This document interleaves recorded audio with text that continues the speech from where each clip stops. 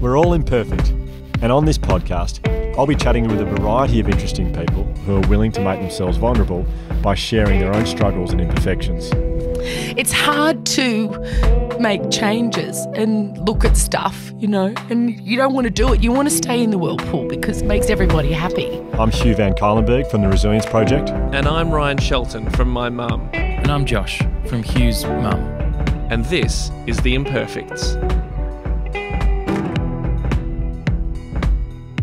Before we start, I've got a bit of a fun one for you guys. You got a bit of a fun one? okay. There's one thing I love, it's having fun. Well, it's a bit of a fun one. Okay, yeah. Okay. A story, an Yeah, just- anecdote, yeah, it happened very recently. piece of content. Go on. So, do you know I've got a friend called Kevin? Do you know I've got a friend called Kevin? A friend called Kevin. Yeah. Uh, this sounds like a setup to a joke. No, that's just. Oh, that isn't the fun one. That I've got a friend called Oh, Kevin. okay, That's- yeah, yeah. is- You've got a friend called Kevin. Yeah, Okay. I, yeah, yeah, yeah. great. You know Kevin. Yeah, you, you run with him. Yeah, I run with him. Oh, yes, I, I've met him. Yes. Yeah. Once at our favourite cafe, Terra Twilight. Yes. I introduced you to, and then when you left, he got so down on himself and he went, "Ah, I don't know why. I just tried to play it so cool. Then I love Ryan. I should have told her how much I love him, but I just played it way too cool. Right. Do you remember that? I remember you telling me that. Yeah. yeah, okay. Well, anyway, here's the fun bit. Um, it's actually not that fun. That, that last bit was pretty fun for me. Just recounting that story about how much Kevin likes me. That's fun. I'm having fun. so, Ke- so Kevin's my running coach and running friend. And anyway, I called, I went to call him um, the other night. I went to call him a couple of nights ago and it was late. It was probably about quarter past 10. And I can't remember why, but I was in the car and I called him and it, it went past two or three rings. And when it goes past two or three rings, you kind of, you're not Yeah. going to answer, Yeah. especially that time. Yeah. But for some reason, I was in the car. I just didn't have, kept ringing. And all of a sudden, he answered. He didn't say anything. I could just hear him just kind of doing stuff, but he didn't say anything. And so I said, hello. And then it was absolute silence. And then he just kept doing what he was doing. And then I went, hello. And then again, just absolute silence. And I went, uh, Kevin? And then Kevin goes, um, yes. Turns out Kevin was listening to an episode of The Imperfects while he was cleaning. while he was cleaning. Oh my God. And I was mid sentence. And somehow with his Bluetooth headphones on, he accidentally answered the phone, not knowing I'd rung. So I was mid sentence. And then for what he oh. heard was me stopping and just going, hello, Wow. hello. And then there was another pause and he said, I was confused. Like, what's happening? And then I went, Kevin? And he, and he and went, he- and he went, yes. Back he thought- podcast. He thought I was actually trying to communicate to him Oh through the podcast. God. I mean, that probably is the future of podcasts where the somehow the phone will know who you are and you'll be they'll be able to like put your name mm. into the episodes. Yeah, well, that was a little taste of the future for. Yeah. You know Not what, Hugh? That was a fun one. Perfectly framed. that was a fun one. It was a fun one. Yeah, I like that. Kevin's a fun guy as well. Like he's a fun guy. He's a fast guy. I call him mm. Fast Kevin. Oh, right, because he's fast and his name's Kevin. Yeah. Good name. A fun nickname. Uh, well, being our first episode, it was like, well, we have to we have to deliver here and find someone who everyone is going to just love, mm-hmm. and who better than Chrissie Swan? Mm. Mm. Chrissie Swan.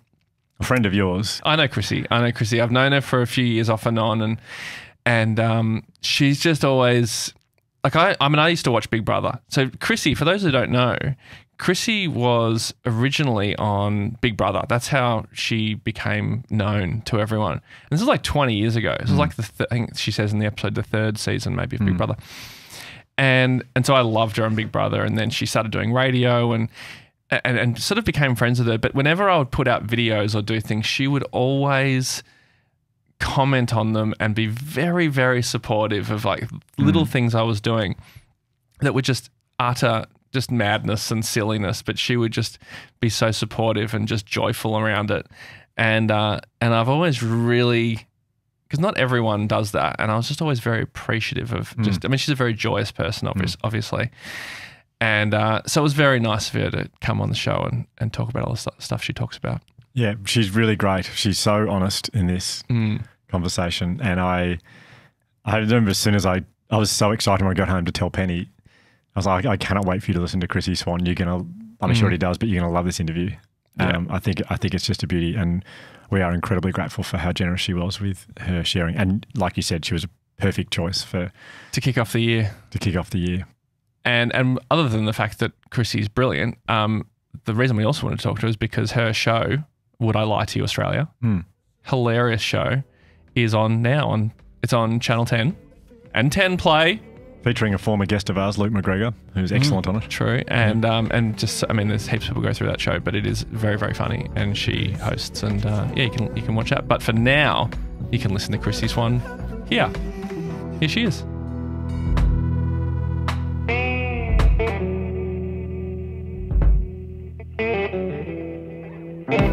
Well, we are joined in the studio today by someone who, when she walked in the door, I just felt like my first thought was, oh God, there's a very famous person here. That's how I felt. Really? That's how I felt. I don't see myself that way at all. Yeah, well, just, it wasn't, I, I just felt it. That's what I felt. I went, oh gosh, there's a very famous, and I had like a pang of nerves, and now I'm okay. You've calmed me down. But we're joined by Chrissie Swan, by the way. You, you probably recognize the voice, who has done so many things, every TV show possible, really. Radio for a long time, got your break on Big Brother. Home and away did that for like a while. Yeah, I was making toasties at the uh, what's the cafe called there where Irene is? Uh, the, isn't it just Lassiter, the life, I know. life saving life saving neighbours. No, um, Alf's Den? stupid of me to, to reference Home and Away when I've literally never watched an episode. Yeah. I'm more of a Neighbours girl. Me too. Yeah. Well, neighbour's guy. Yeah. Yeah. yeah, yeah. uh, so am I. I was a neighbour's kid for sure. Yeah, 100%. Well, you were on it, so Yeah, oh God, I guess yeah. I was. Were you? What I were was, an. I was an extra. Yeah, a couple of times. you got yeah. bullied. Did you get bullied? Is that what happened? Yeah, by Yeah. Toadie and Billy on Muck Up Day. Assholes. Yeah, I know. How old were you? Uh, would have been I would have been like 16, 17. Wow. Yeah, year 11 in Erinsborough High talk. Um, but actually probably 16, I think, because year 10. Oh, because usually year 11s are played by 45 year olds. So Yeah. yeah, damn typecasting. Yeah, I was obviously ahead of the game. I just had such talent that they saw. he can play his age. But when Chrissie, when you walked in, well, I mean, of course, I say famous person as well, but I know you, Chrissie, and um, and but when when the door opened, I, I wasn't quite at the door yet of the building. And as the door opened, I just heard your big laugh. I was like, and I just felt like, oh, warmth is coming in. It was just Because like you this- nearly killed me by sla- f- flying the door open, Yeah, and yeah. I was behind it. Just Yeah. foolish of me. it's a silly design that Yeah, door. it's a bad door. Yeah. Terrible. Yeah, it's a really bad door. It's not Yeah. you. Happens a lot. That is our bad. That is our bad. So, Josh, so we've got famous and warm. Josh, your word for Chrissie? Uh, just delightful. Oh, Oh, there you go. thanks. Yeah, just a delightful presence in the room. Oh, good. Yeah. It's true. There you go. It's true. All right, let's wrap. Okay. Yeah. It's a shorter episode than we've had. But it can't get better than this. Yeah. But God, we got we got down and deep. I've full disclosure. I'm very nervous to be here because I'm a huge fan of the podcast. I've and never ever miss an episode. And uh, you guys really got me through that interminable lockdown in in Melbourne where we all lost our minds. And um, I, when I was first asked to do the podcast, my initial reaction was absolutely not. we? Well, we we met. Mm. I, we met and we spoke about it, and you were reluctant, Yeah, understandably. I wasn't reluctant. It was no, I can't do it. Yeah, I, I yeah. absolutely cannot do it. I mm. can't, for, for many reasons, I can't do it. And then it was sort of organized out of my control. And I went, I'm really scared about this. And then I remembered that one of the things that I'm trying to do is stuff that scares me. That's great. So that is why I'm here. Yeah, so just great. be gentle with me. Well, Bridge, bring out the pit of snakes. we're gonna get you in a pit of snakes. Um, while I've done that before. That's really? nothing. Oh, yeah, because on one of remember, the- I'm a celebrity. I'm Get a me out of here. celebrity. Yeah, yeah. Uh, literally a pit of snakes you've done. I think that's one of the things they no, do for everyone, isn't it? no, it was a water tank with snakes. Oh, so I was in water with snakes and crocodiles. Yuck. Crocodiles? Yeah, I've done that. Jeez. Mm. Doesn't sound overly safe. It- it- Oh, I- H&S over here. where were you? Where were you in the wilds of South Africa? No, it wasn't safe, and I nearly passed out and drowned. Really? Yeah, but rated well. Well, then that's great. Congratulations. you must have been thrilled. I was. Who was on Who was on that series with you, and who did you really? Joel click with? Creasy. Joel Right. Creasy, that was where we fell in love. And we are still very, very close friends. Oh, how lovely! Thank Yeah. God for him in there.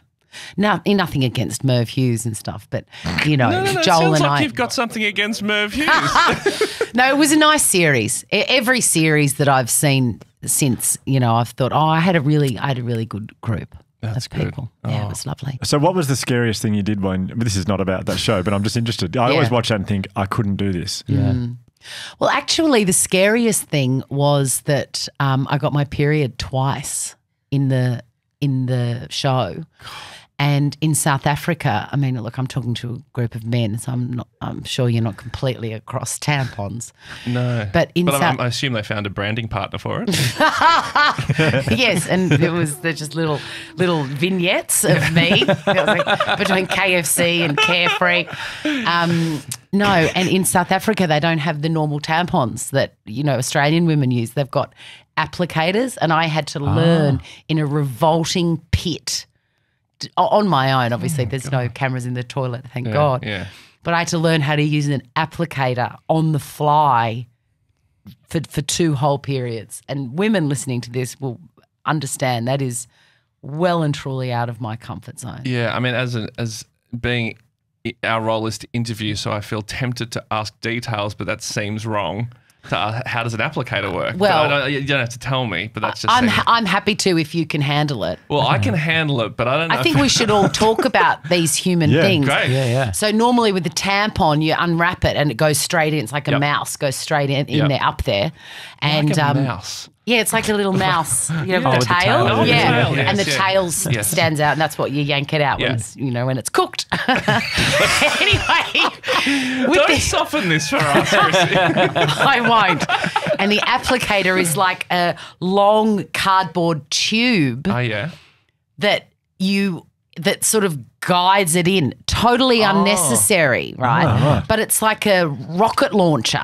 Oh, b- So the oh. tampon is like the rocket and the applicator is like the launcher. Oh my Wow. god. And so you've got to get that in and then launch the tampon up the hole. did you did you talk this did you talk this through with Big Swerve and Mervyn Hughes? Or? of course I did. Of course I did. He, he knows his way around an applicator, don't worry. Yeah. Merv, come in and give me a hand. Um, I'm tempted to just talk like this for hours. Yeah. I don't know if that's what people tune Can in I can I ask? Well, it's it's kind of on this topic. Can I ask about on the I'm a celebrity, get me out of here. Yeah. What what is what's your relationship like with fame?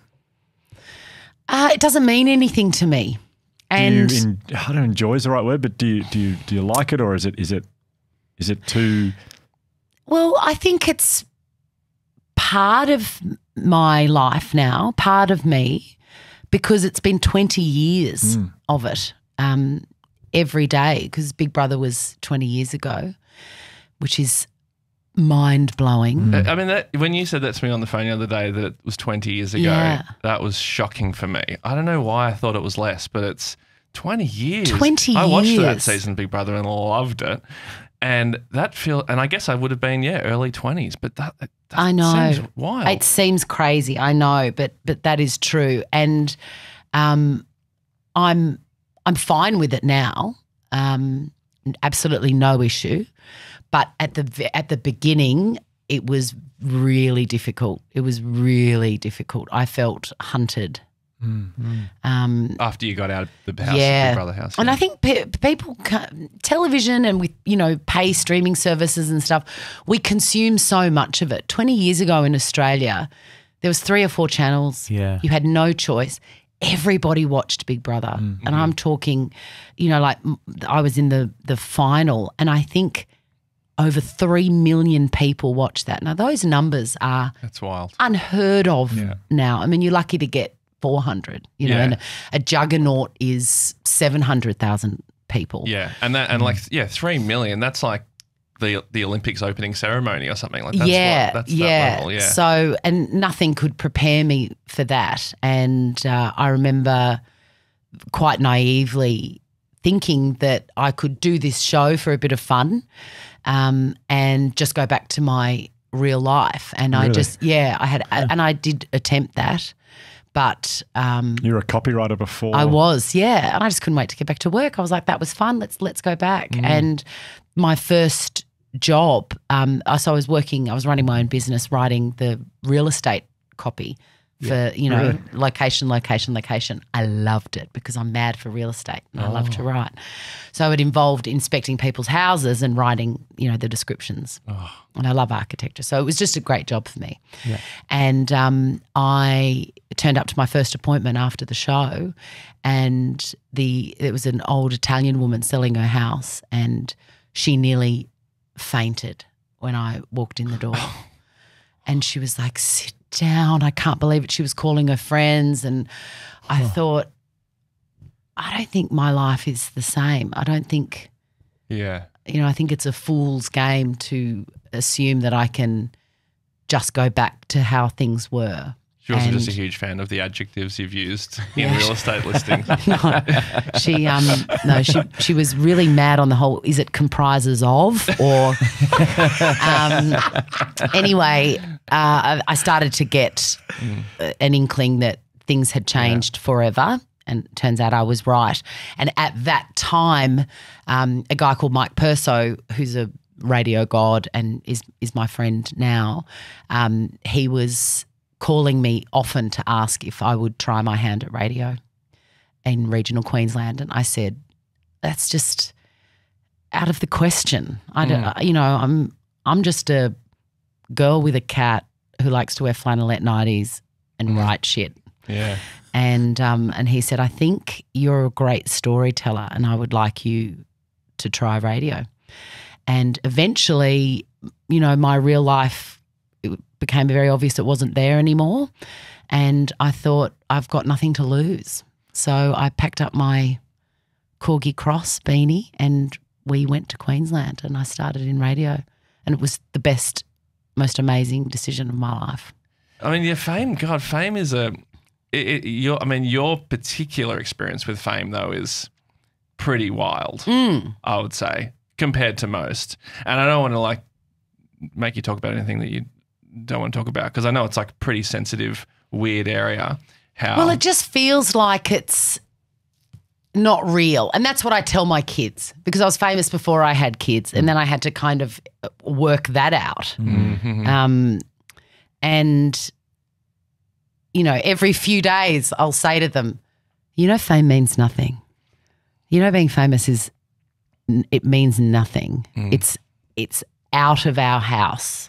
It's not in here.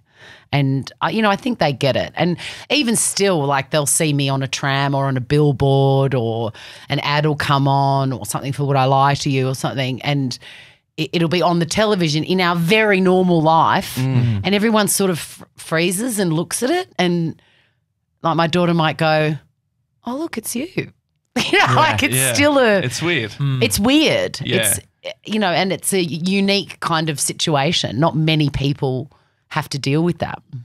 How do you feel when that happens? Does it does it feel like an intru- a weirdly an intrusion or something? No, it just it feels surreal, Yeah. and I'll just have a laugh or go, "Haven't we got a funny old life? Yeah. Yeah. Yeah. Isn't yeah. this a funny old situation?"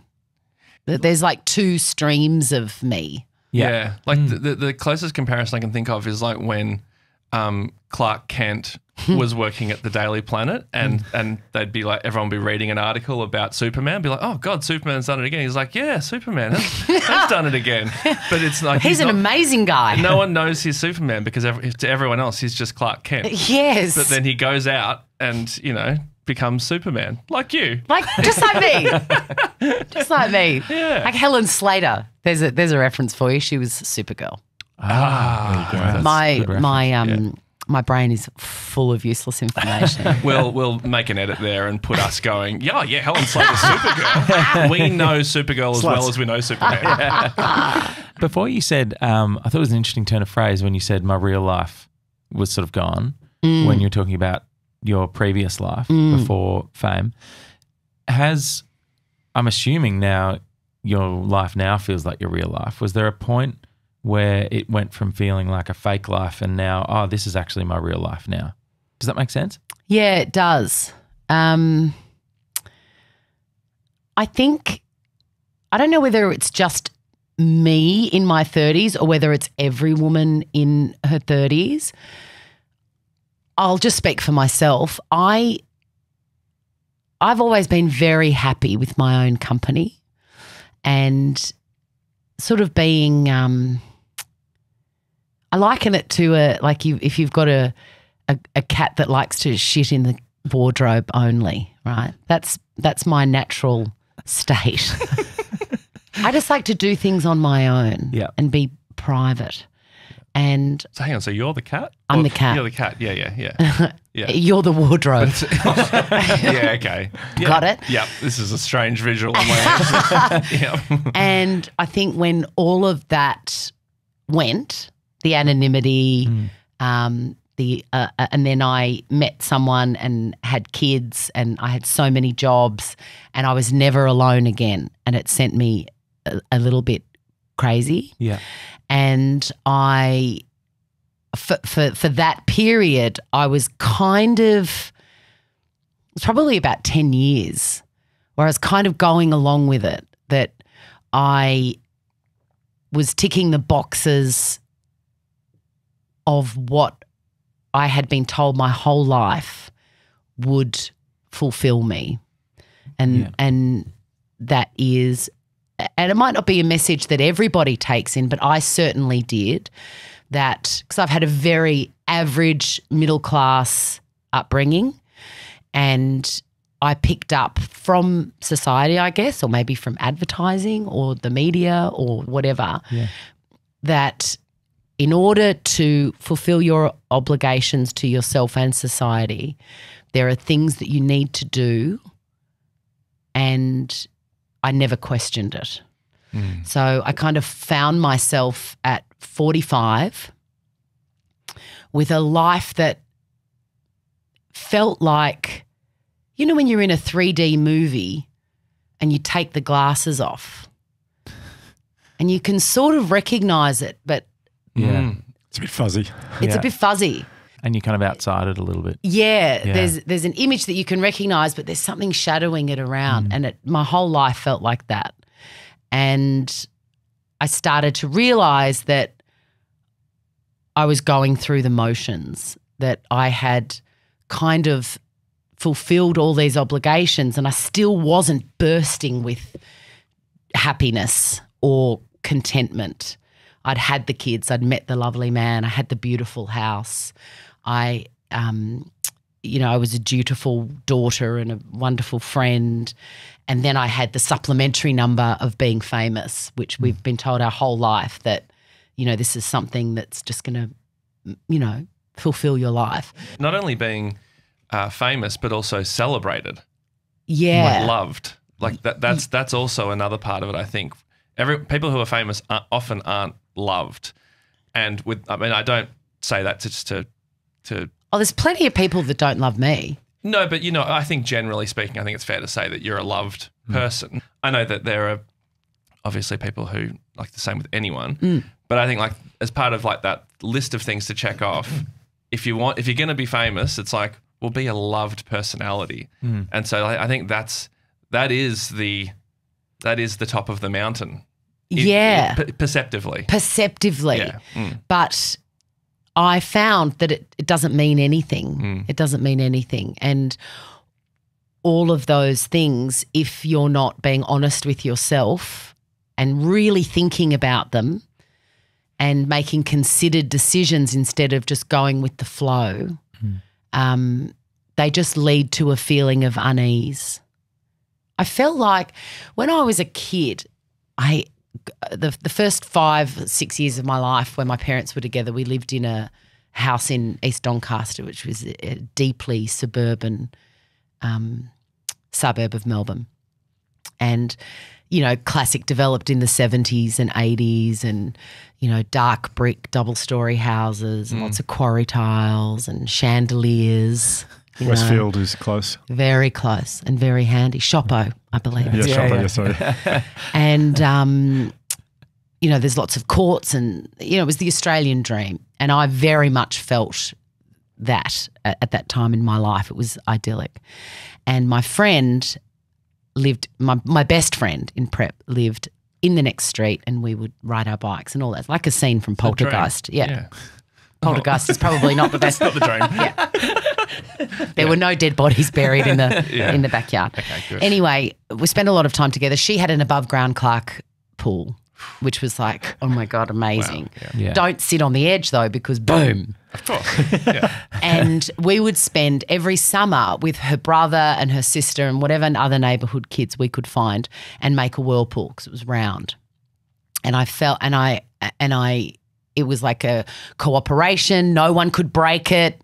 No one could stop because then it would ruin the flow. Oh and, but eventually, after half an hour of all of us working together, we could float and it would, the, the whirl- whirlpool would oh, continue. This is Right. incredible. It was amazing. Yeah. But I felt like my life for a long time was me just going along with what everyone wanted hmm. and floating and feeling like I couldn't say, I want to go in a different direction or I want to get out or there's an icy pole with my name on it inside in the deep freeze and I'm going to dig around in the chest freezer. I, and I was just like, yeah, no, this is fine. This is hmm. This is great. We've uh, we're all doing what we need to do, and I'm not going to upset the apple cart. But I think there comes a time, and I'm so fortunate that there did come a time for me where I couldn't stand the floating anymore. I couldn't stand it. So how long ago was that? I started to change around four years ago, started to question it because I kind of, uh, I was 45 and I went, okay, let's have a look. I reckon I'm halfway if I'm lucky Halfway. to, to dying. Oh, I reckon I'm halfway right, yeah. through my life. Let's say best case scenario 90. Do I, because things were just going to stay the same. Things stay the same. That's the way it goes. Mm. Unless you consciously do Unless, something. yeah, unless you get out and get an icy pole. That, you know? that analogy is stunning. Oh, Yeah, it's a it beauty. really the is. setup and everything. Is it? Doncaster. Oh, and- absolute ripper. Wonderful. and I went, "Wh- "What am I? Am I happy with this going on? The the way it is? Am I happy with who I am with other people? Am I happy with who I am for me? Am I what what do I want to change?" And then I started to walk, and I get emotional thinking about it because walking has absolutely changed my life. Really. Yep, Every day you walk. Yeah. every day I mm. walk and there's you know I now say if there's anything troubling me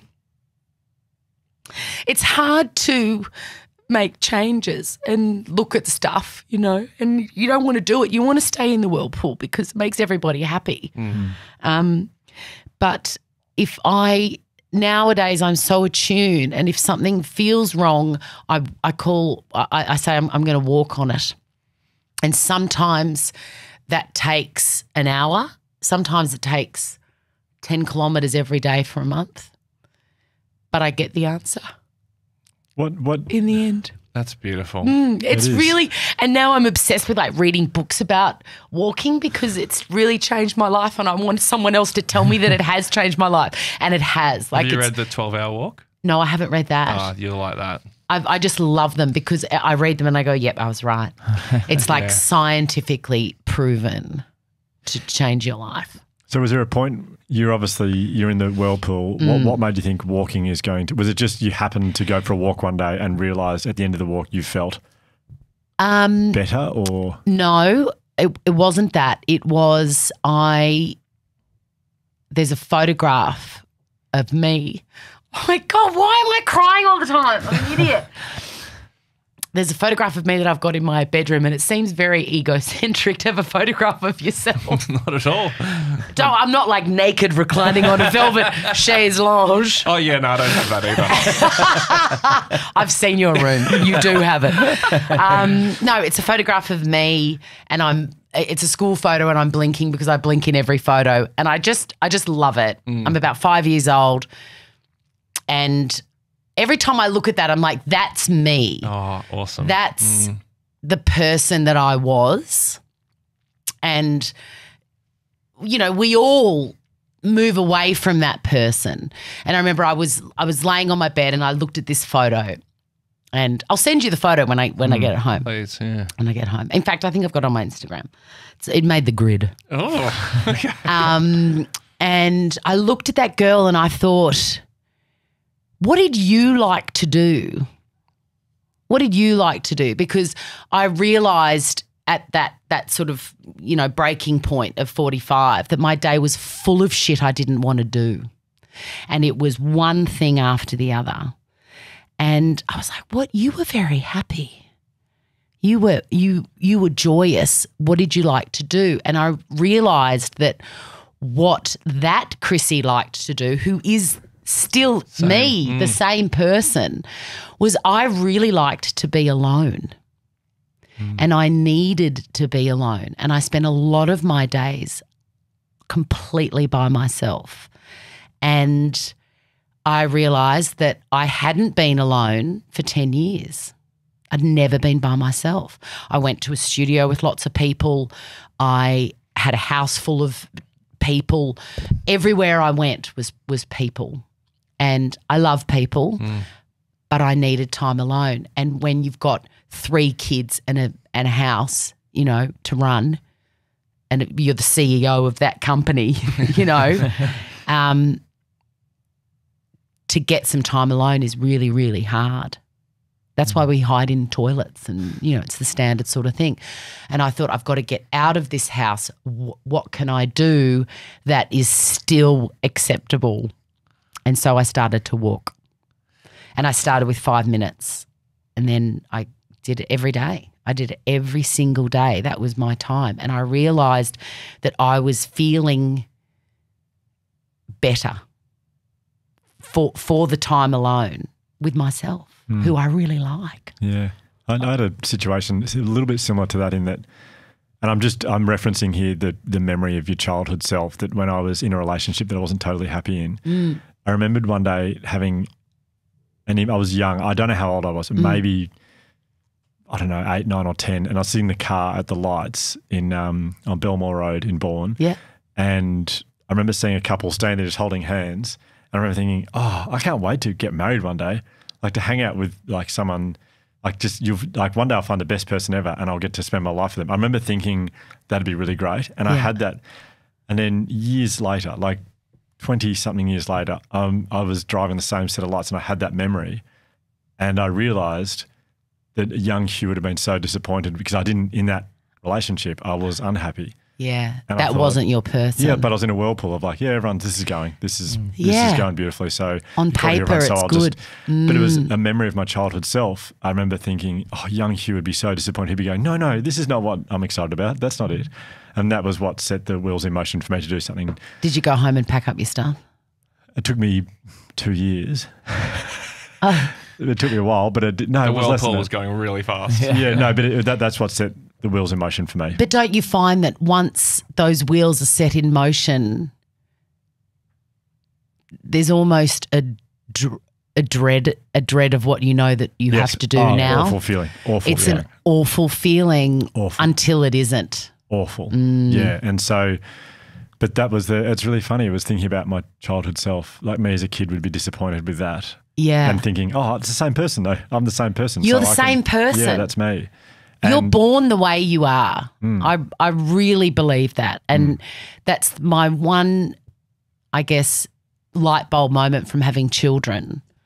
What you think it is and and what it is is completely different. Hmm. And in my situation, my children were born exactly the way they are, and the the great joy of parenting, the thing I enjoy the most is every day I get to find out who they are. They're not mine. That's so well put. They're Exactly not how I mine. And I thought that they were like before I had them, I thought, oh, this is my child. It's like a kitten. Yeah, something that I'm going to mold and kind of- Yeah. yeah. and that is yeah. absolutely not the case. And what a privilege it is. And it's ethereal and otherworldly, actually, because they do come from you, Mm. but they are not you and you don't know them. Yeah. You don't know them. That's It's the weirdest thing. I've actually never heard it's exactly how I feel, and I've never heard someone say it so well. Mm-hmm. That I've always, as soon as I had Charlie and, and Augie, from the get go, I'm like, oh, you are 100% your own person, and I don't have any, con- like, Yeah. obviously. I've and we're living make sure together, but you- I don't know who you are. Yeah, yeah, and you're learning more and more Yeah. as you go. Yeah, it's um, it's a wonderful thing. It's great. Yeah. yeah. Do you, do you mind me asking what are things that you felt like you had to, like, so when you were walking and the world started to make a little bit more sense, you had your mm. own space Yeah. and you're by yourself, what kind of thoughts were you having? And this is a, a pretty deeply personal question, so you don't need to answer it, but were there thoughts you were having around these are some changes I need to make or things I need to do? Yes. Okay. Yeah. And I just let the thoughts happen. And They confronting thoughts? yeah, of course. Of course, of course they were because I'd kind of got myself into a mess. I'd kind of got myself into a mess. And I wasn't enjoying really any aspect of my life. And I thought, what's happened to me? Like, I'm not really having any fun and everything's a drag and I can't do this for another 45 years. I can't do it. Mm. And so I I changed my parenting first and I realized that I had it wrong for us. It's very uh, it's a very personal thing how you parent and what goes on in your house and what those three individual people need and what I'm capable of giving them. And I was honest with myself and then I was honest with them. And it was so liberating because I think kids naturally sort of hero worship their parents. I know I did. And I'm not comfortable with that because I know that I'm deeply imperfect and I like that about myself. And I felt like I was pretending to like things that mothers should like because that's what children need. Hmm. So I was running myself ragged to do the school lunches, which hmm. are shithouse boring. and I was pretending I knew things I didn't know, which isn't good for anyone. And I was pretending to enjoy the school pickup and the chats at the um, school gates. Pretending, pretending, pretending. Trying to play a role. Yeah, because I, you know, you, we're told that's what your kids need. Your kids need you to be involved everywhere. And I realized, actually, no, they don't. They don't need that. For me, it felt like I was trying to insert myself into their lives where I'm not required. Their school is their community. It has nothing to do with me. I believe, in my case only, and this may not suit anyone else, my children need their own place where I'm not. I don't want to do reading classes with them. I don't want to cook sausages on the weekend. They should have their place where they are them without the context of me. Mm-hmm. There's enough of that at home. You know, I'm a big presence at home. Mm-hmm. I'm everywhere. I'm in their faces. You know, that that's enough. They need a break. They need a break from from from that so that they can find out who they are when they're not with me. And equally, they need to see that even their own mother is flawed and doesn't like stuff and says she doesn't like stuff. Mm. So I started to be honest and I stopped the weekend sports. It made them miserable. It made me miserable. None of us were enjoying it. Mm. We were doing it. All of us were doing it because we were told that we should do it. We're not those types of people. And that was really freeing. So instead, we are currently on the hunt for the best butter chicken in Melbourne. Yeah. That's us. Yeah. We're on fire for that. Yeah. Right? Yeah. Where are the best soup dumplings? Come to me, ask my 11 year old because we know Where are they? they're at Hutong. Okay. Still there at Still there? Hutong. Okay, yeah. good, good. Um, and we've tried. There's also a great place in Box Hill, in the depths of Box Hill, that does a great Xiao Long Bao. Okay. So we kind of started to enjoy ourselves for stuff that we want to do mm, It's beautiful. Mm. and we're much happier. And also, I sort of set the precedent. Now they can say to me, I've got no interest in that. Or mm. if I say, um, here's a big one, just the honesty, honesty will set you free.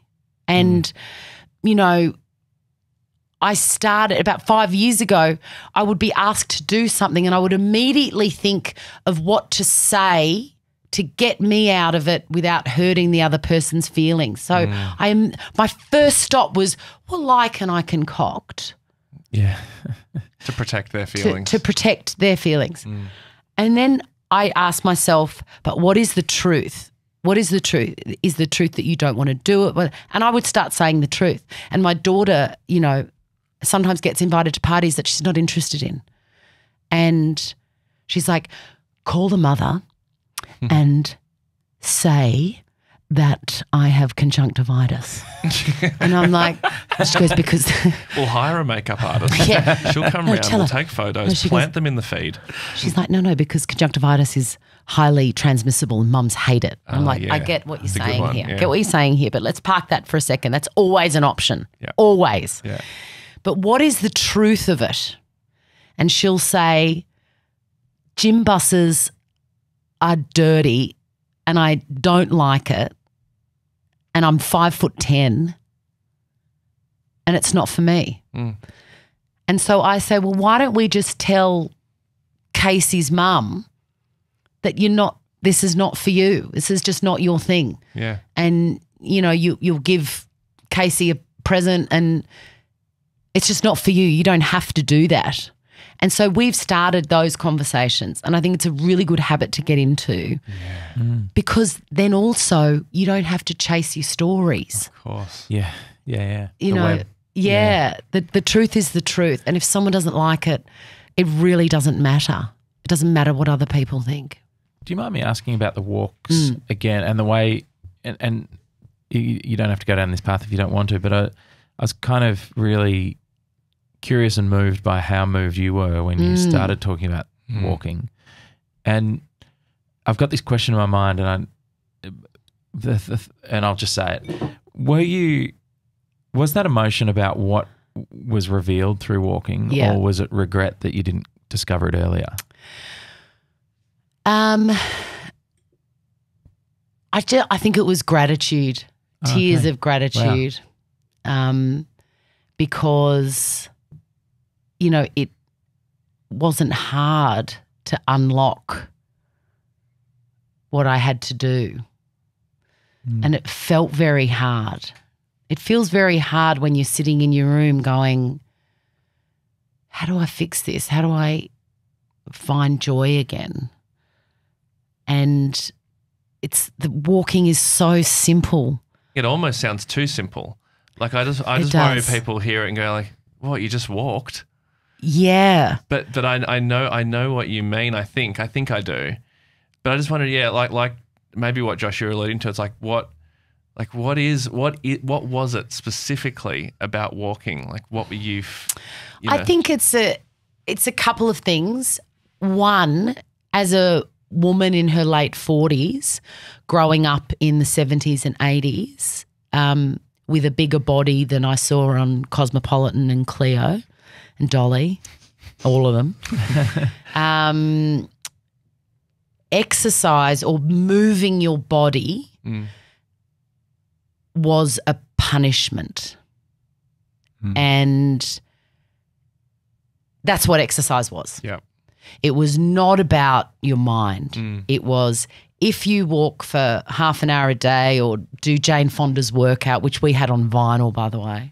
Vinyl. Yeah.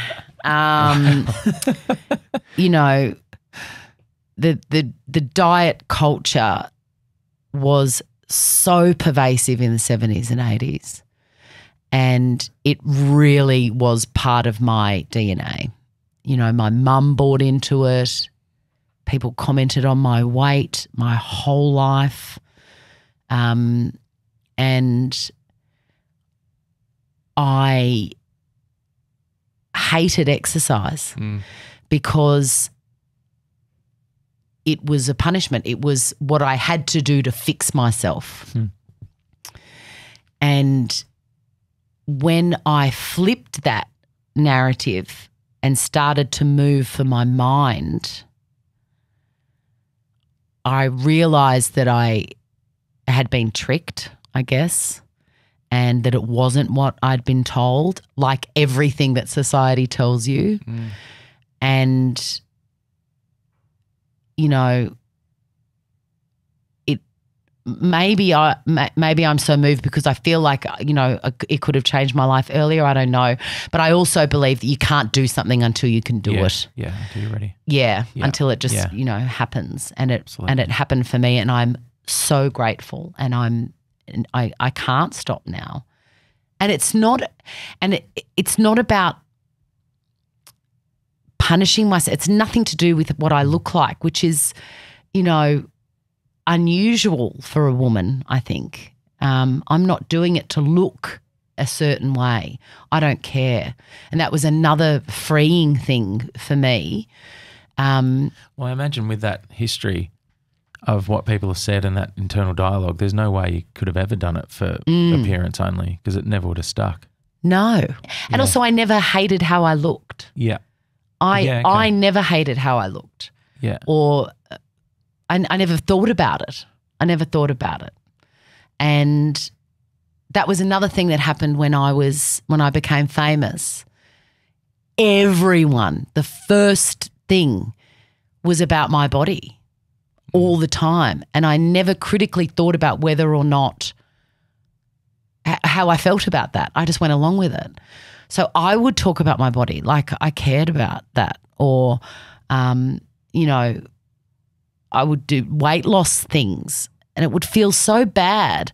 But it was like, oh, I'm just this is what that this is what everyone does. This is what they want from me. This is who I am now. I don't I don't know. It's like- sure. It's the whirlpool of fame. It's yeah. the, it's the role that you you're sort of you assume you have to play as a famous person. You find what's my what's the thing people are interested in? Oh, that's working. They're Do t- more of that. They're telling they they want to talk about that. Okay, because hmm. I talk about anything. I'm happy to talk about anything. But it, it came to a point on my I walked on it. I was like, how do I feel actually when the first thing that anyone talks about is my body when I feel like I've got I'm so much more than that. Mm-hmm.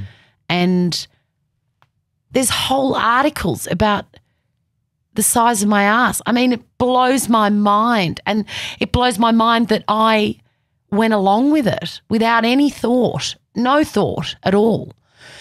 And on on my walks, I was like, oh, I think I might be uncomfortable about that. And I think it also might go against what makes me happy is to make other people happy.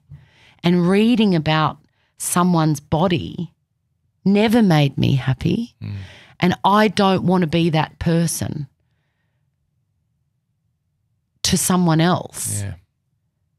You know, whether my body is small or big or, you know, th- all of those my day on a plate things are abhorrent to me. Mm-hmm. Who cares? Who cares? Mm-hmm. And we've just got to stop it. Mm.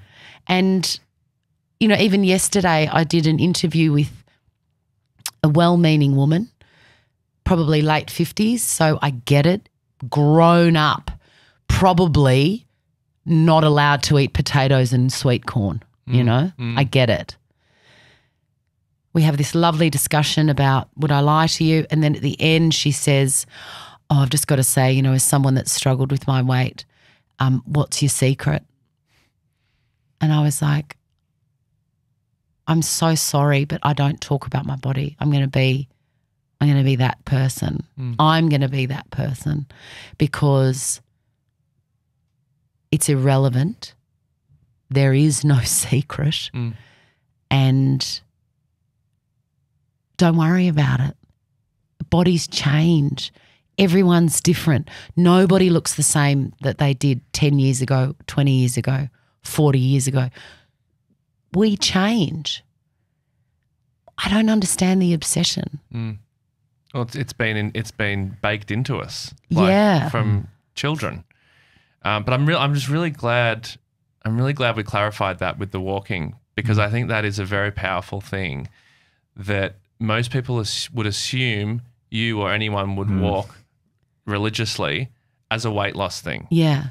and and I I, I know that I, I mean I guess I do walk for but I think the reason that I walk now that I think about it is not even so much as exercise. I mean I guess that's a byproduct, but what I truly get out of it is clarity of thought Correct. Hmm. and I come up with probably most of my good ideas while walking. Absolutely. And and I'm just really glad I think you put it so well that like walking is or any sort of exercise, I guess. I mean I, I'm a walker too Mm. but it it is it's probably simplified into being a, a physical health thing. But when people actually- don't believe it. Yeah, They mm, they just don't believe it. They can't believe it. And you know, I wish I had a dollar for every Instagram message I get from women saying, "How long do you walk for?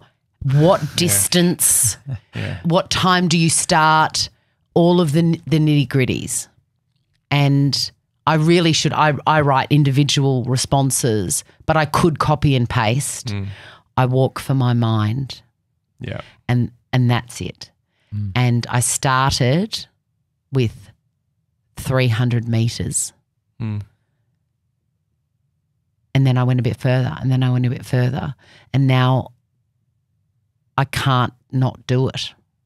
yeah, Can't not do it because I see a real difference in the way my brain works, um, and my joy in in life. I I love life and I just want to have as much fun as I possibly can. And you know, before I was honoring myself, I just hated everyone and everything. And that wasn't good for me. That's not my natural state. which is amazing to. I mean, not amazing, but it's shocking to hear. No, knowing, I mean, I, I I've known you over the years, Mm. in and and you present as such a positive person Mm. outwardly, so it's it is quite shocking to hear that you hated everything and everyone. I'm naturally a positive person. Yeah. And also I love working. Mm. And I rec- and so you've always seen me when I'm in Yeah. work mode, which is, you know, I I love it. I can't believe yeah. it. I, f- I feel like a lottery winner Mm. that I, you know, get to do the jobs that I do. Um, and I was saying recently to somebody, and it's a bit worrying. I've got to walk on it. Um, work is not something I am; it's something I do. Mm. And I think it was in in in relation to parenting because we're supposed to love parenting the most of all. And which I do. I really enjoy it. And this is a good season, as I said to you before. I'm really enjoying my kids, 14, 11, and 9. But I think work is actually something I am. Wow. Wow. Mm.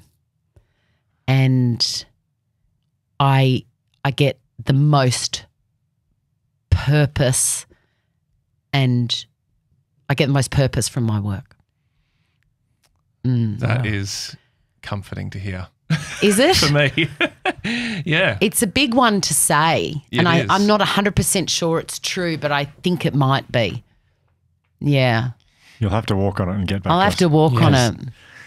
I I feel like you. I mean, what you just said is very profound. So I don't want to skip past. I want to come back to it, but I, do, I Mm. do want to talk about your walking. It's almost like, and Ryan, you must be the same. But it's it's you you walk for the feeling that it gives you. It's Yes. the feeling. That's it. Yeah. The way it makes you feel Mm. in general. Because I, I, I certainly relate to that. With no, I think It feels People- like an, a long term investment in my in the mood of the day. Mm. If I walk, like I've already Yeah. walked this Yes. morning, I'm going to have a good day.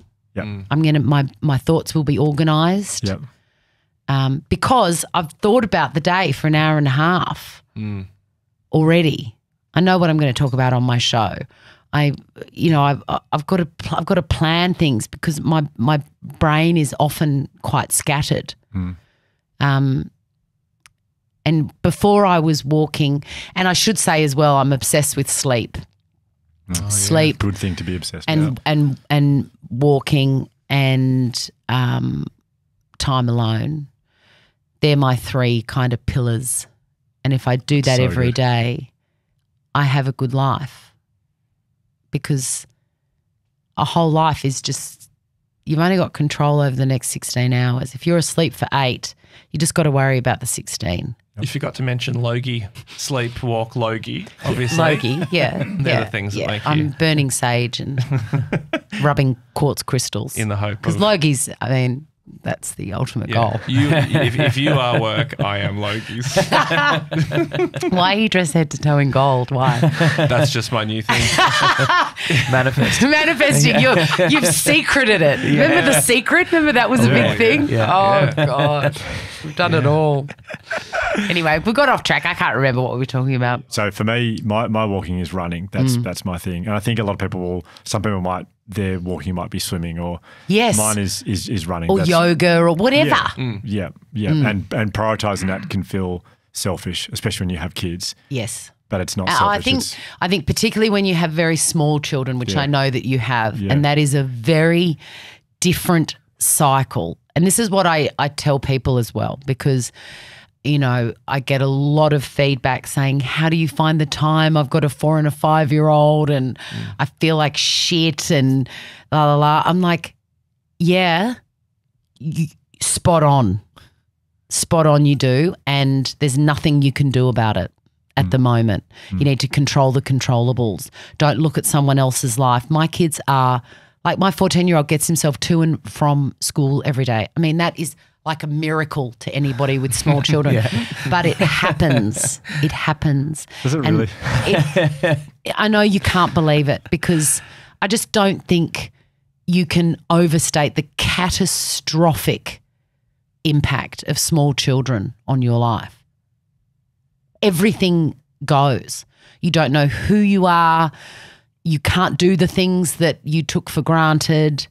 And it's hard.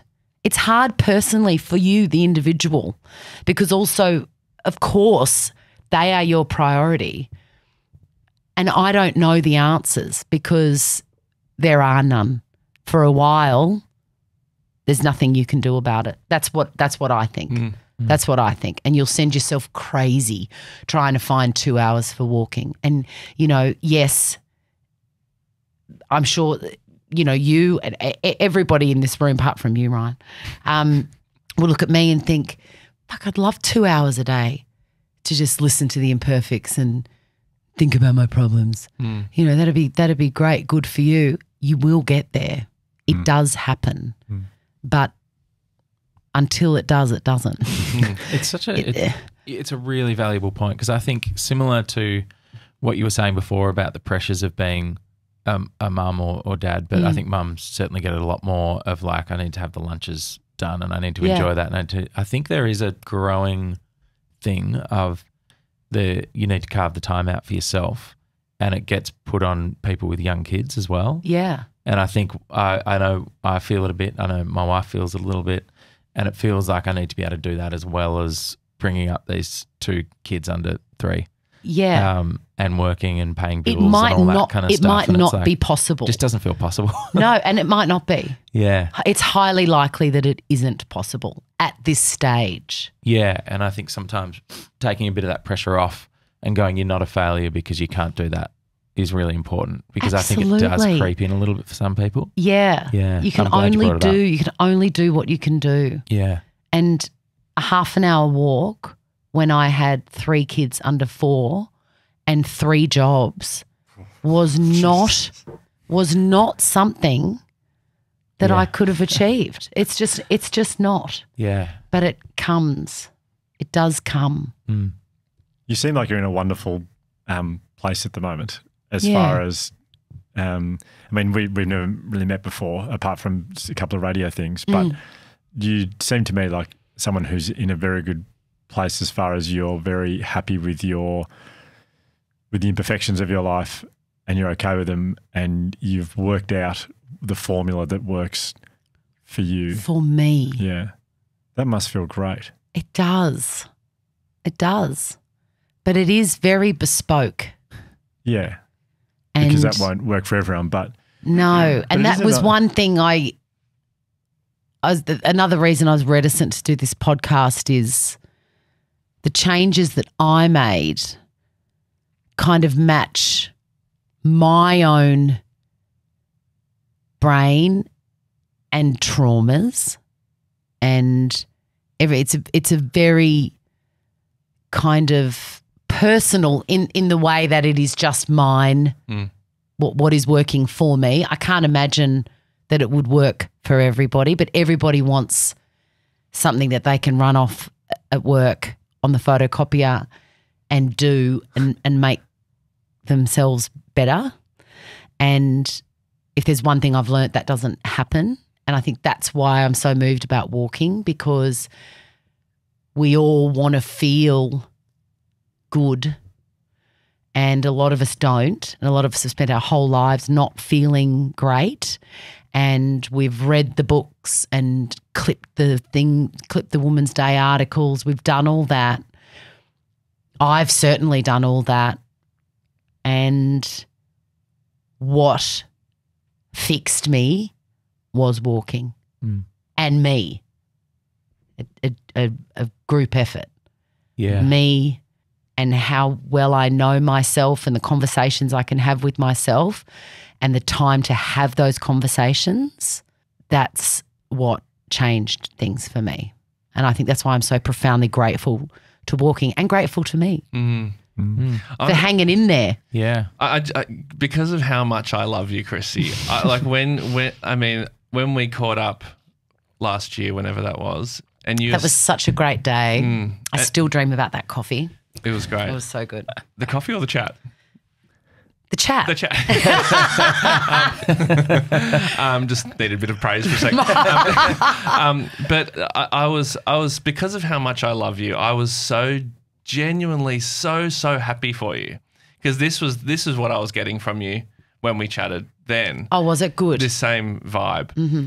and uh, and it's just a really nice feeling to be genuinely happy for someone. Yeah. because it look it feels so, it feels so real yeah. and I think and I think what and what we're hearing now is what I heard when we spoke one on one is like is is is true like contentedness. Yeah. Um, I mean whether I mean happiness you could say, but happiness is almost like too broad a term, and contentedness maybe is like too subtle of a term for it as well. But it's just like to to talk to someone who I truly love. To, to see you so fulfilled, maybe that's the I right feel word. very calm about things. It's very inspiring. It really is. because it hasn't come easily, you had to make some really hard calls along the way. I the- did. and to look back, you must be so unbelievably proud to look back on the. You talk about looking back on you, you as a child, but you as someone at forty five, a forty five year old to go, okay, this is going to be hard, but I'm making these changes. Mm. That must be feel really, yeah, you must feel really proud of yourself. I do. I feel uh, after about a year of walking and thinking and drinking, I drank for a bit to avoid everything. Mm. And then I was like, what, what are you doing? Yeah. What's going on here? Mm. What are you, What's creeping in? yeah, what are you, what are you trying to escape from today? Mm. Um, and I looked at that same the photo of me as a little kid, and I was like, I feel like her again. I feel like her. Mm. It's the best. And I've also started to not answer questions Just because. quickly. Yeah. Yeah, because I find that that's where you're reading off a script that you didn't write. Yeah, yeah. That's a good point. That's so true. yeah, know? it really is. So true. so sometimes if you ask me something and I go, pause, I don't think she heard me. I'm I'm going. I'm having just a little just a little quiet meeting. yeah. what do you really think? What Yeah. what do you really think? And and those answers are coming much quicker because I'm in I'm in good practice of them. You're in honesty mode. Yeah. Yeah. And also, it's nice to say I don't know as well. Sometimes, so I have no idea. Yeah. Just I often say think- that. Yeah, I, I often say, just leave that with me for a second or an hour or, you know, a week and I'll, I will get back to you, but I just don't know. I don't know how I feel about that yet. And then I go for a walk and I get the answer. Walking on it. It's like the magic well. Yeah. There's um, uh, I think I might have brought this up on the show before, but I re- remember having a chat with my psychologist a bit about what you're talking about. How good are psychologists, by the way? Oh. way? Oh. Incredible. The best thing that came out of COVID was those 10 free sessions. Oh yeah. Like Yeah. 100%. Yeah. Um, and we are talking about uh, a cognitive cohesion as opposed to cognitive dissonance. Mm-hmm. And when you say something that you don't quite believe in, that it has a, I think this is from her and from other research, that has a bit of a toll on you.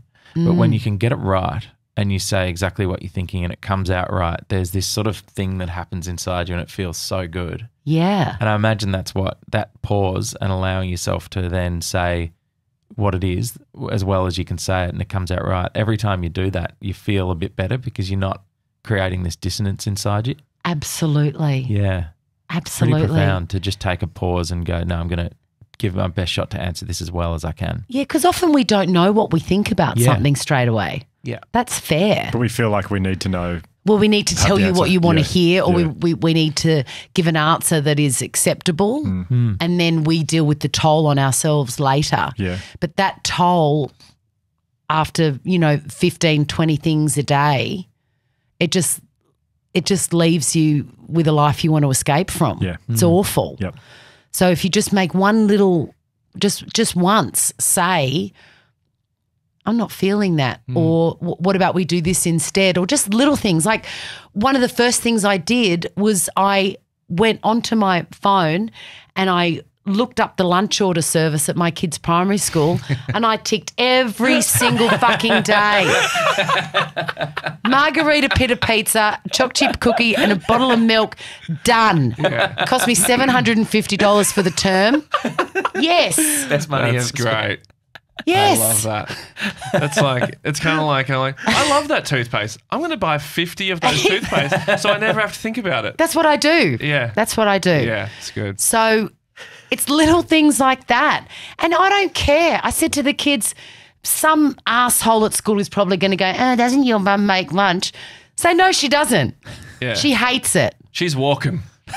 She hates it, and you wish that you had a choc chip cookie and a margarita pita pizza every day. You little suck shit. it. Yeah, that's right. No, she hates it. Yeah. This is this is what we're doing. Yeah. Until she changes her mind, because that's the other thing. Yeah, it's like saying We- it's like saying the unsayable. It's like, Yeah. what do you mean she hates it? It's so exciting. But that's but you're her children. Yeah, mm. that's right. yeah. And, you know, I just say to them, I don't like this part. I love you.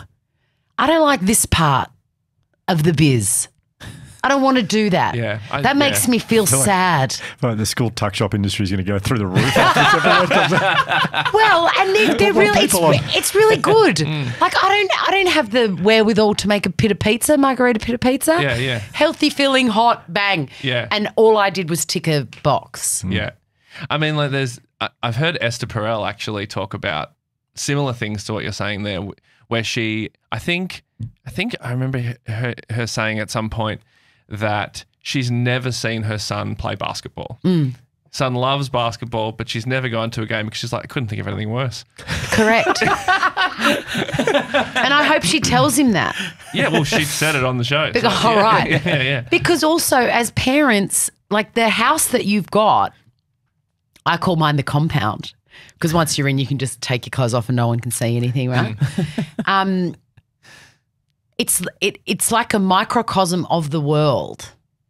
So your kids, you know, I nearly killed myself trying to make everything perfect. That's not fair to them because that's not the way the world works. So they they come home and I've you know bought a roast chicken to turn into a sandwich for them, and I've made homemade LCMs and all of that bullshit that we that we go through. That's not the world. That's not the world. You know the fact that I don't want to go like Esther Perel to go watch a basketball game.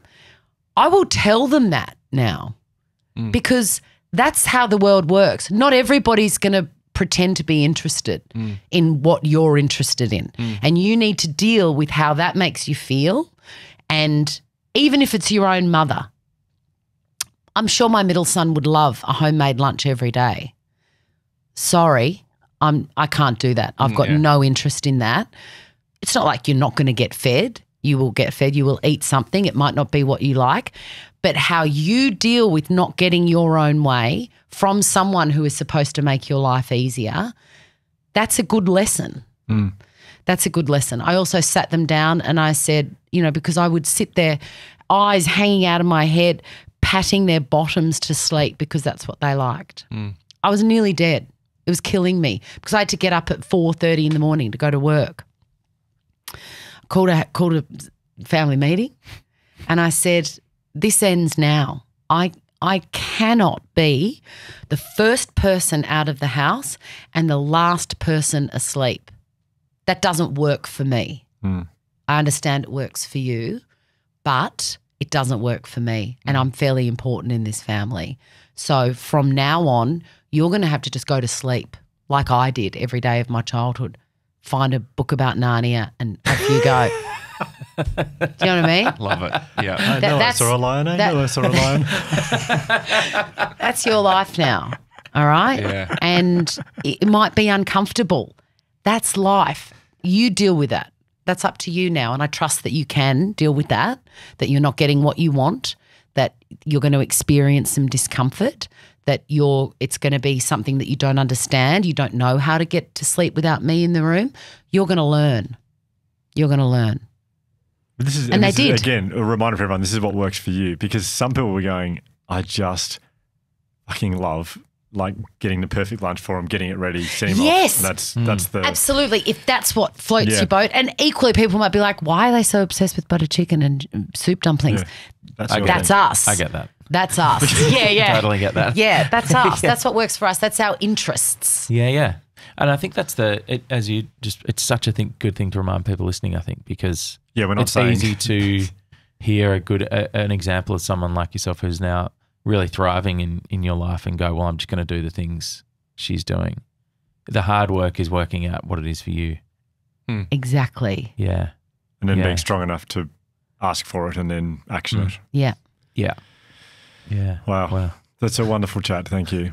That was Sorry, unless you want to. amazing. Yeah, I, it's just I feel like you know, for me, even as a forty-two-year-old man, I'm just going. Yeah, this is. I feel like I'm on this journey right now. I feel like I'm like I'm really establishing some things at the moment that are working for me, Yeah. and I, it's it's a very freeing feeling, and you feel like life gets a little bit easier when you go, oh yeah, no, that works for me, so I should do it.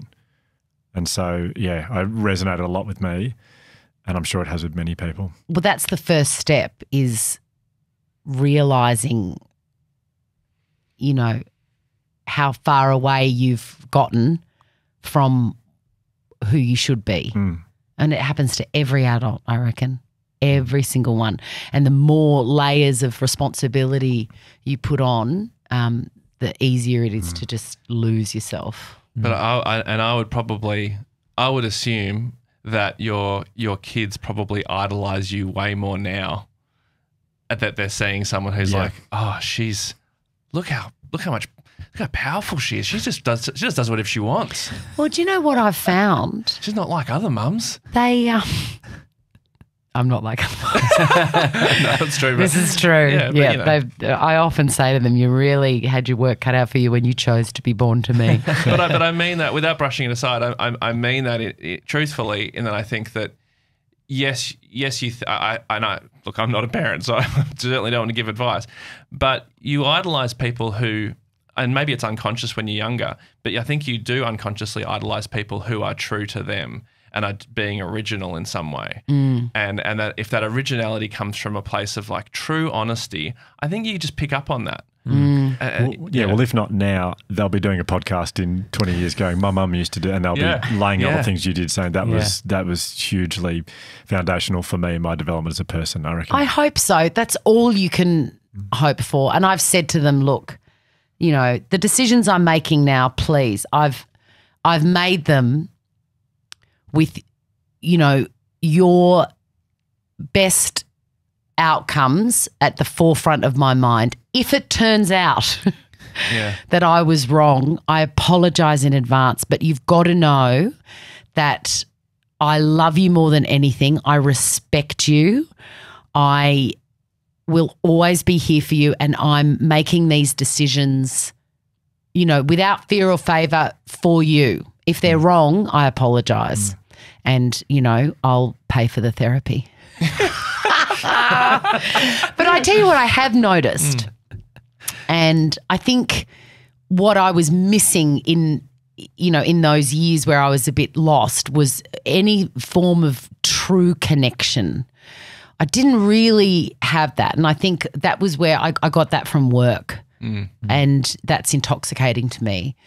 And I didn't have it with my kids, and I think it's because when they were very small, who who are you? You don't know who they are. They can't talk. You can't share your experiences. They can't blah blah blah. So there wasn't that connection. And I found that since they've gotten older, and I've been more authentic with them and honest, the connection is so strong and so tender, hmm. and they're so kind to me because you know they care for me now not in a weird, you know, you know, I've parentified them sort of way.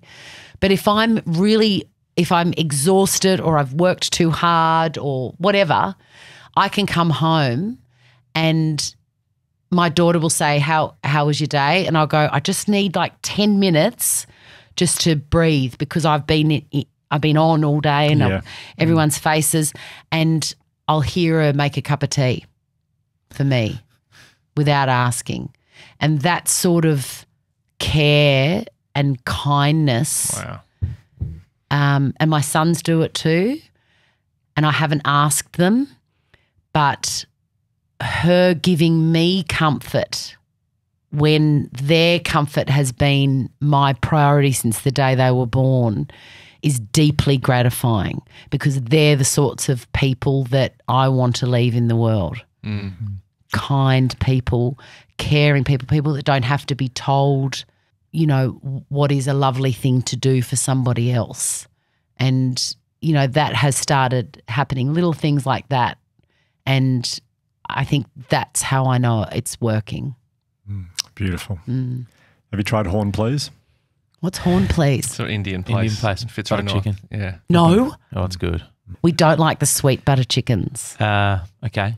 Okay. Yeah. And we're also fussy creamy? on roti. No, creamy's fine. Creamy's fine. Okay. Creamy's fine. Preferably, the chicken is out of the tandoor first Yeah, great. and then is turned into the butter chicken. Gosh, if this is radio, Yeah. we'd get so much content out of this. Yeah. I Go go. visiting all the.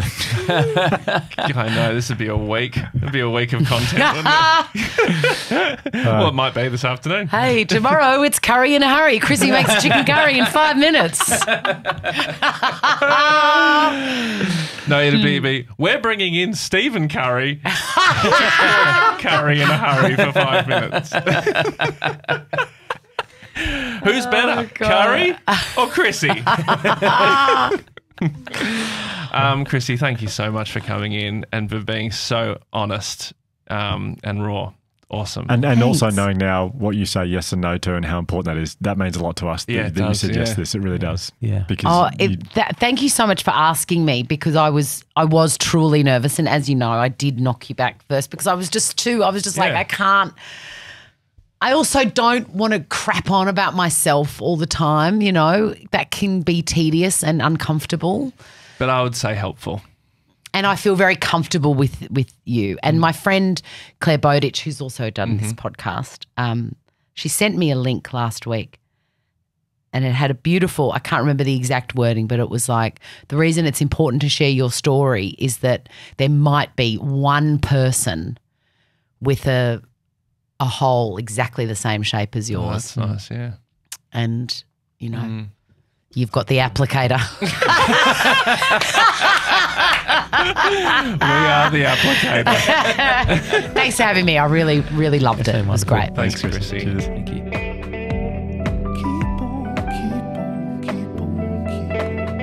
Chrissie Swan. I meant what I said when she walked. Sorry, I just completely cut you off. God, the, the dread in your eyes when you realise you cut me off. I appreciate that. All, it wasn't actually anything that, except that I just want to say, Chrissie Swan, I love you. That's pretty big. That's Yeah. pretty big, but I do love, I love Chrissie Swan. Okay. Yeah. I was just going to say, I Your really meant, I, I meant what I said. When she walked in, I had this feeling of like, there's a very famous person in here right now. Oh yeah, well she is. Hmm. She is a famous person. But God, what a genuine. She's a. She's just a, just so much being in warmth. a yeah warmth. Warmth, yeah. Being in her presence is um. And then when she walked in the room, yeah, she just brings in this like positive energy. She sure does. Yeah. Just love her, love her.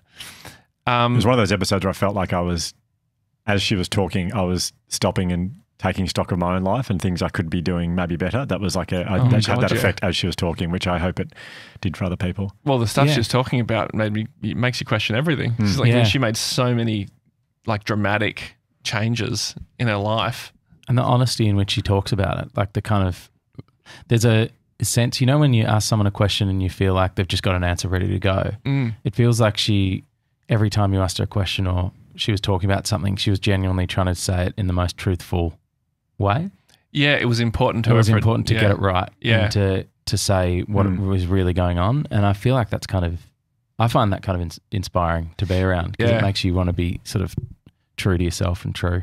Well, one, one the obviously one of the big things she talked about was the her making these like conscious choices, and the only reason why I bring that up is because it reminds me of what I feel like Hugh you're kind of doing this year. Like you, I remember you said at the sort of at the start of this year, it was I don't know if it was like a resolution or something, but it felt like you were making like conscious choices to be honest with people. Yeah. Is that fair to say? W- Yeah. With my, with the demands on me, I feel like Yeah. the last 10 years have been huge demands. On your time. Yeah. Yeah. and I feel I've been pulled in every direction for quite a long time. And I just, through chatting to my psychologist about it, was just at the end of last year was I need to start saying no, but actually, like set up boundaries for myself. This is what I will do, this is what I won't do, and Mm. and you stick to it. Mm. And I have kind of done that before, but then in the end, I just have these weaknesses where I go, "Oh, okay, yeah, I'll do that. No, no, I'll, I will do that. No, I'll do that. And I just, and this year, I'm, oh, you guys have seen it. I'm, I'm saying no a lot more Mm. to things that I don't, some things that I do want to do, like I'd like to do it, but if I do it, it's going to be at the cost of something I'd probably rather be doing, like being with my family. Yeah, Mm. but it's but but I think the truly terrifying thing to me about what you're doing is you're not only just saying no, but you're telling the person why. Yeah. Honestly, Yeah. Whereas like my my my instinct is always just lie, lie, lie, lie, make an excuse, and, and then and then what happens is obviously you get yourself into like this weird web of lies hmm. that you then have to live this fake life to prove to the person that you're actually doing the thing that you lied about. Yeah. Whereas you're like done with that. It seems. Yeah, well, here's I'll give you what I identified as what my big problem was going to be was when someone that I like or a group that I really like get in touch and ask me to go and speak. Yeah. I worked out with the Resilience Project. Here's much. I, here's how much I can do this year, and we've committed to that. So Mm, when people I don't really know get in touch, it doesn't go to me. It goes to the bookings people, and so they Yeah, are but I able mean, you to. still do so much for the Resilience Project. Like you still, yeah, I'm doing I'm doing heaps of stuff, Mm. but we sort of we worked out what I'm happy doing Mm, in in in conjunction with the podcast. mm. But do people still come straight to me? People Yeah. that I know will come straight to me and say, "Hey, I've got this coming up. Can you come and speak?" Mm. And I always say yes to friends because I just feel like like an asshole if I say, even if I know I can't, it's going to be hard. I still say yes because I just fucking like asshole if I don't do it. So Mm. I'll give you three examples of where I've said no in the last week where it was so. Give me two, and I'll tell you if I need one more. Okay.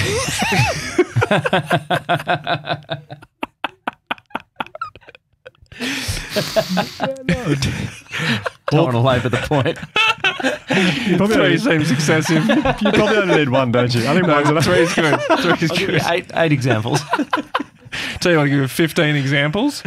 okay, go. Sorry, three examples. I love it. Well, it just they they they're all. They, I think no, I will give you two because two of them are quite similar. But so I identify that when people get in touch with me that I really like, or it's for a group of, or it's a brand or a company that I really like, I'm going to find it really hard. Mm. But I just have to still say no. So the first one was uh, Hawthorn Football Club, who I barrack for. Mm. Love Hawthorn. Yeah. Said, look, we, we'd love you to come and speak at this um, function to all the players and all the staff.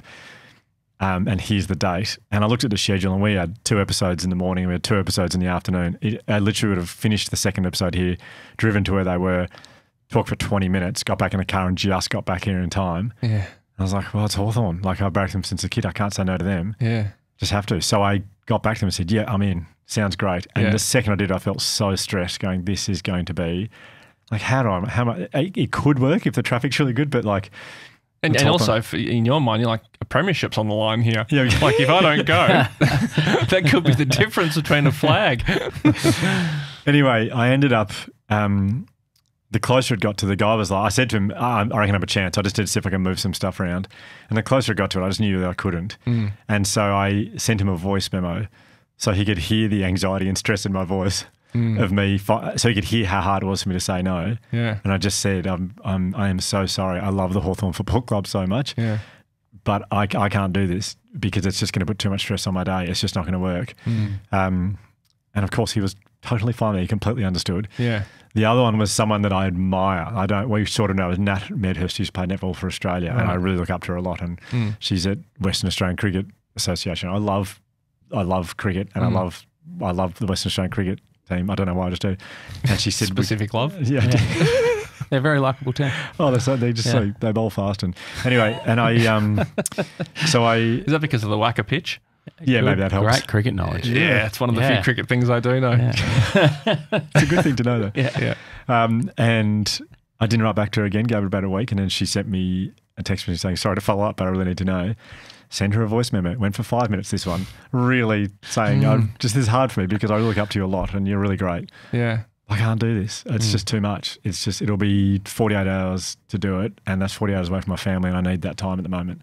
Yeah. It's really special to me. Like, my son's starting school, I want to be around all the time, and blah, blah, blah. And she's like, Yeah, of course, totally understand. That's great. So it's hard to make changes like this. And this is just a small example. I, mm. Chrissie, I'm sure she said no to things. That's part of her change. She made other changes as well. But mm. doing it's hard, but it's very rewarding because you are, it feels great because you are being very true to what you want and what you need. Mm. And I have been woeful at that for a very long time. And it also just doesn't. You, you if you tell if you, t- if you tell the person the truth as to why you don't want to do something, as opposed to making an excuse, it's like what are they? What what can they say? There's Yeah. a- You know, it's you, they can't really Yeah. go. Oh well, because you know, the, the, a lie could be, oh, I'd really love to, um, but I've committed to um, this other thing that I, that I'm doing instead, so um, uh, I can't do it. Or or the other th- other classic one is like, uh, I think I'm going to be, um, I'm feeling pretty sick, so I actually can't.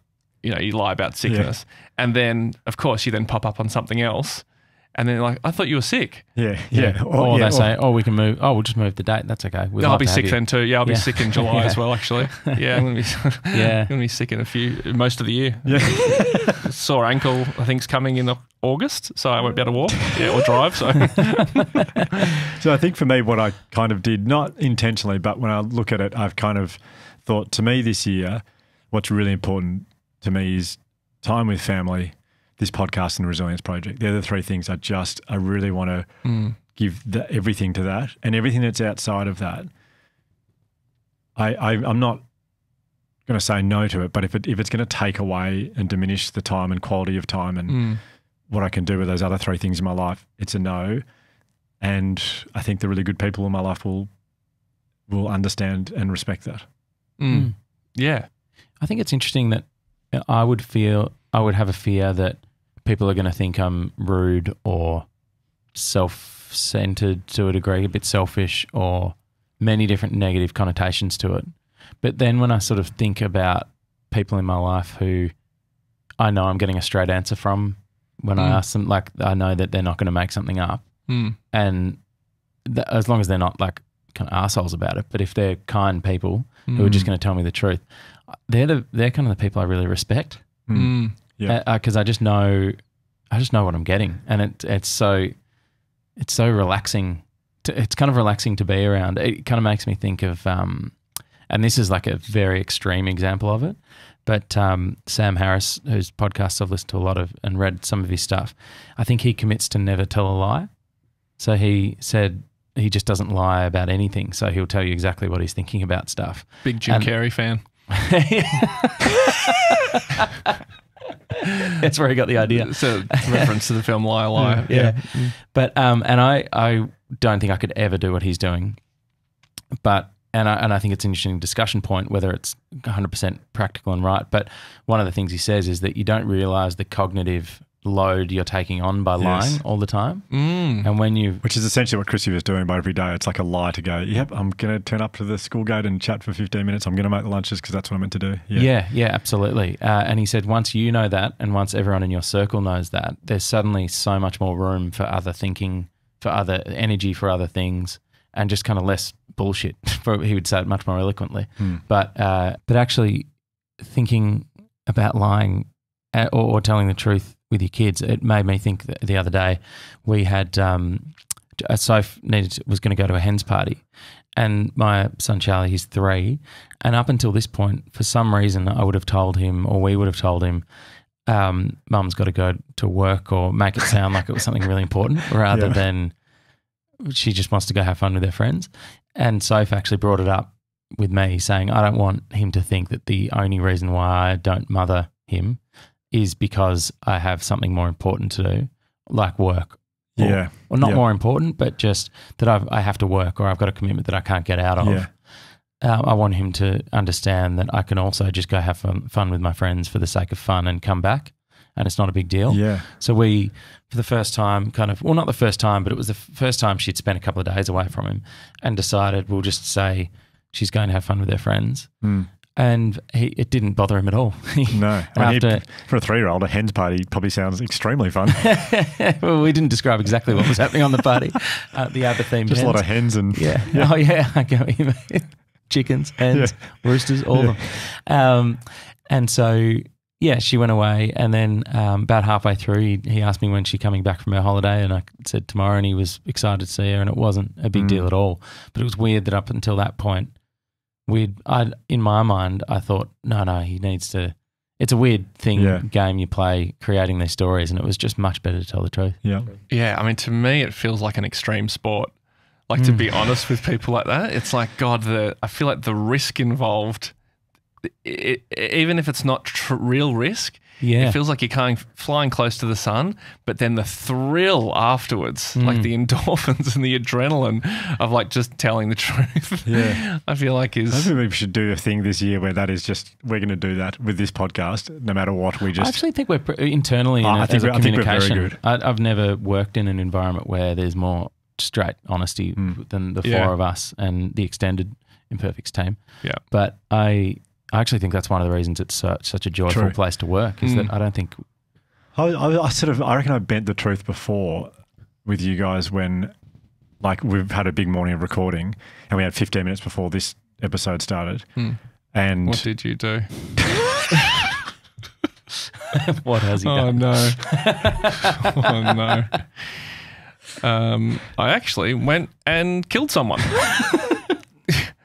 I know I said I was getting a coffee, but if I'm being truthful, I am a contract killer, and I knocked off a quick job. I was so desperate to have coffee and a smoothie because I hadn't had a coffee yet today and it's three o'clock in the afternoon. And I just said, Oh, I might just go for a quick walk. Josh, Josh, do you want a coffee? Like I was sort of being polite and sort of saying, but I just want, I just need to get out and get away from everything Yeah, and sit by myself and scull a coffee very quickly and a smoothie before I came back here. Yeah. But for some reason, I couldn't say to you guys, guys, I need coffee and I need a smoothie. I'll be back. And I need to be by myself. I need to be by myself. what did like- you say? I think I said, oh, I might just go for a quick walk or something. Or I, I mean, I didn't lie, but Yeah. I didn't say exactly. I felt guilty about that. Ah, I felt yeah. I had to had to make it sound like oh, I might just get out and walk for a bit. Yep. I don't know. It's I, Yeah, I feel I know like what you mean. Yeah, No. Well, yesterday, um, here we go. I bloody did kill someone. All jokes aside, um, no. Um, You and me? If I, Yeah. yes, Yeah. yeah. So I, I was, I was going to go exactly the same situation. I was like, I needed some fresh air. I needed to get out of the studio. I needed to go for a walk. And I, in my mind, I was like, I just need to go walk by myself in silence and be away from Yeah. people. And and Josh, you said, uh, you said, oh, I might, um, I, I might, was- I'm going to go for a walk too. Yeah. And I was halfway through about to invite myself. And then I was, uh, yeah, I, I think I noticed the look on your face. And then, Well, yeah, because you're like, oh, I might, uh, maybe I'll come along. yeah. and and because I'd promised myself only seconds before um, this time to myself, and I knew I needed just some yeah, um, me time essentially and some fresh air. I was so glad that you retracted the So you didn't say. so I you didn't, have, to, go say no. Yeah, Yeah. Because I because because yeah, I really did need it to just be me, as opposed to like, you know, obviously I love you, but I don't. But I just needed it to be me. So that, But would have felt been like. Well, that felt like a really nice bit of honesty between us, and I, I felt really good about our relationship and the way we work, in that Mm. we were able to go. Because then, as soon as I said it, I was like, actually, I want to be by myself too. oh yeah, yeah. yeah. Anyway, yeah. Were you going to kill someone? Because well, someone, one of us has killed someone, and I want to get to the bottom of this. you know, this this is the episode that if God touch wood, one of us ever kills someone, this this will be the episode they'll clearly bring up. It's like you can see back in 2023 they were thinking about it even then. The ABC's got footage of this conversation, so it's, that's just Australian story filming this. Absolutely fucked. This will be a new Australian story. Yeah, Don't, yeah. Let's not do the one on Hugh. There's a, there's a more interesting story. it's a much more interesting story. He killed Yeah. someone. He absolutely killed someone, and he admitted it. So just to go back to the the whole practicality of how you can maybe, for me, I kind of I've. I, I actually put folders on my laptop of the things. They're the only folders on the on my desktop of the things that I'm committing to this year, I guess. Mm. And what made it easy when I had an offer come up to do, well, they're three essentially different sporting talks. Um, I, I have committed to do the Queensland State of Origin team this year. Very excited to be with them. Yep. And in my head, I was like, that's it. I'm doing one club this year. That's it. No matter what else happens, it doesn't matter who asks. That's what I'm doing. Yeah. And so I'd made that rule for myself. And as much as I would like, I love cricket and and I love Hawthorn. So, Yeah. but it was just outside the rules. Mm. And I've been inspired by you, Ryan, where you made a rule for yourself that you just say to yourself, I can't have an iPhone. I, I cannot have an iPhone. I just can't. Mm-hmm. And so I kind of did this rule of I can't speak in another sporting club. And that was it. That's the rule. That's the rule. So, So, and the, so the folders, do the, the folders like if the if the offer doesn't fit into one of those folders, then it doesn't fit anywhere. yeah, and people could say, but doing a resilience project talk does fit with those, and it, and I it does, but it's it's I've already committed to a certain amount this year, Yeah. and they're full, Mm-hmm. and so yeah, That's good. I want to get better at saying no quicker. I've heard, um, I think it was Leigh Sales and Annabel Crabb talking about this. Mm. Um, the importance of saying no quickly, Oh yeah. like when you can't do something. Because I feel like, like there's a there's something I um, need to say no to, and I've waited about a week, and it just weighs you down. But if I just as soon as I got the message, said no, I can't do that, and could be truthful, like you could be really truthful, or you could just say no, I'm sorry, I can't get there. But I feel like the the cognitive load and the that weight of just like taking that on for weeks and weeks and weeks, and then it also makes it worse for the other person. yeah. if you don't say, yeah. if you just let them string them out for longer, saying maybe I can do it, maybe I Mm. can't, it's Yeah. a, it becomes a pain for them. Quick no is good, isn't it? A it? quick no, yeah, I mean, a quick no is great because then you can always retract the no. absolutely, Usually, yeah, yeah, you know, actually, something's freed up, or like, you know what, I've changed my mind. So you just say no to everything. so if you just immediately say no, like, will you marry me? No. and then you can always go back on it. Actually, no more offers have come along. I might take you up on that. you know, I know it was six years ago, but you know, it's looking grim for me. So I, that's a yes, actually. Yeah. so I haven't really thought that through because I didn't know we're going to be talking about that. But I think I want to get better at saying no quicker. No, quick to is good. Yeah. No, Yeah. well, that's like that's like an honest no. Mm. Listen to your gut. uh, yeah, I was about to say your gut knows straight away. Yeah. Mm. There's a book by someone, and he says, we'll, we'll put it in the show notes. That'll be the link. www.someone. there is a book by someone. And he says, when making decisions, we we think, oh, what does my head say? What does my heart say? You go to your gut, and you go, what does my gut? And your gut Yeah. knows the right answer. Your gut knows. It's true. Can I um Nick, a friend of ours, Nick Hutton, has a theory that he flips a coin when he can't make a decision. Flips a coin, and obviously he has like I'll go on one side and I won't go on the other. Flips it, and then sees what he has to do, and then the the the thing that he uh, if it says like all right now I have to go because tails came up, then he gets an immediate reaction from that of if it felt good or not, and then he can always change his mind and go actually no that's a sign I should not go. Oh, I like that. Hmm. I like that a lot. The other thing that he does is great. Is is he has a glass of milk with a chocolate jam donut once a week. That's another great thing he does. Oh, that's really helpful. Thanks, Yeah. you. Yeah. Good practical advice. but I've always enjoyed that uh, Yeah. that thing. I love that idea. It's yeah. great for picking meals at restaurants and stuff. Oh yeah, When you can't decide between two things, flip a coin yeah, and if you then want, you, are not sure if you want to eat a head or a tail. you.